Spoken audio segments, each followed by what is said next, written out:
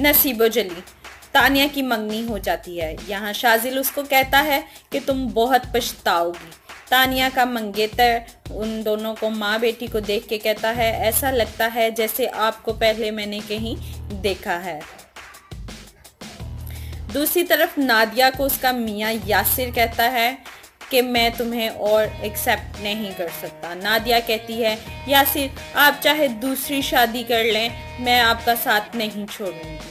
नादिया के ऊपर भी उसके माँ वाले हालात आ जाते हैं। यासिर कहता है, ठीक है, नादिया, अगर तुम सारी ज़िंदगी एक सर्वेंट क्वार्टर में गुजार दोगी तो मैं तुम्हें रखने को तैयार हूँ। नादिया बेहद रोती है कि ये मेरे साथ क्या होने जा रहा है?